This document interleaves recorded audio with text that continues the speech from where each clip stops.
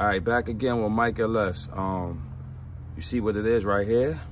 You see what this is? This is heavy duty wheel cleaner. So I'm gonna perform, I did this video once before, but I did it actually at a different time. I'm gonna do it again. I'm gonna, the rim is fairly, fairly clean, not really too clean, but I'm gonna show y'all how this works. Y'all tell me y'all thoughts on it. I'm gonna spray it, activate it. Right, let me find the right, all right, there we go. I'm gonna spray it. Get a close up for y'all so y'all can see. I got a hot bucket of water. I don't have a scrub brush, but I'm gonna use a rag and I'm going to basically clean it. So y'all seen what it was? So, all right, I'm gonna let it sit, let it saturate, a few seconds, let it do what it do. Know what I mean? So it's doing what it's doing. It's saying this is a heavy duty wheel cleaner by Griot's. Um, it says work on a cool wheel, um, clean from the bottom thoroughly, allowed to dwell from three to five minutes.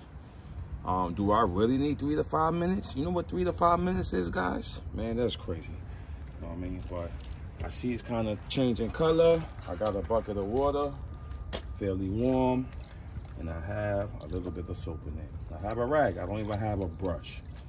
All right, so we waited a minute. That's what we're gonna do. I'm gonna perform. I like clean on the rim. Nothing too crazy. Let's see what it is.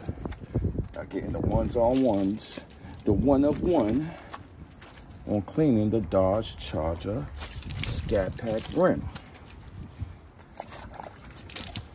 So this, it smells good too. It got a decent smell. It don't got like a stinky smell. So it look like this is kind of like good for like a deep dish rim or regular car rim if you got a Honda, Toyota, whatever it may be. But I need a heavy duty wheel cleaner for the Scat Pack because we have kind of high brake dust. But mine's is not that bad because I'm using um, one stop brake. So it kind of prevents the, you know, brake dust. But so far looking clean because I could tell. But it was kind of cleaned already last week. But you know, that's good. You know what I mean? That is doing what it's doing. So tell me what y'all think. You know? How we looking? The only thing is, is the um, brake clean is about 20 bucks. $20 at AutoZone, Advance Auto. So y'all tell me what y'all think.